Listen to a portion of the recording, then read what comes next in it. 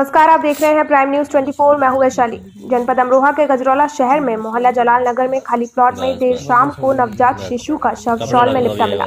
देखने में शव दो तीन दिन पुराना लग रहा था। स्थानीय लोगों को बदबू आने पर आसपास के लोगों ने देखा, तभी अचानक एक शॉल में लिपटा हुआ नवजात शिशु का शव दिखाई दिया। बता दें कि यह घटना जनपद अमरोहा के गजरौला थाना क्षेत्र के मोहल्ला जलाल नगर की है, जहाँ देर शाम किसी अज्ञात ने एक नवजात शिशु को जन्म देकर कपड़े में लपेट कर एक खाली प्लॉट में फेंक दिया। आसपास रह रहे लोगों को जब इसकी दुर्गंध आई तो उन्होंने इधर उधर देखा।